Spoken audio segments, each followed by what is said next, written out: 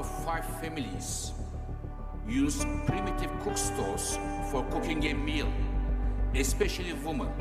And the, the, the indoor pollution is one of the two major reasons for premature death for women in Africa. This is a real issue. 500,000 women die because of the respiratory diseases. So this is, in my view, the biggest injustice. But the good thing is we can solve it. We will do everything what we can do to make 2024 next year a turning point in this clean issue. I promise. 2024, the turning point.